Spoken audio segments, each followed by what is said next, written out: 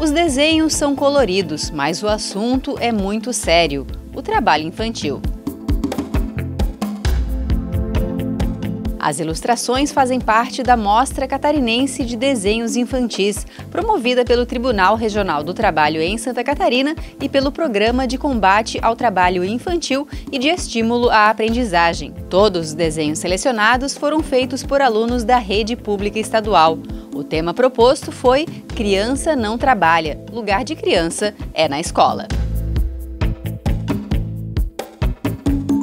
A exposição é aberta ao público e fica na Assembleia Legislativa até o dia 19 de junho.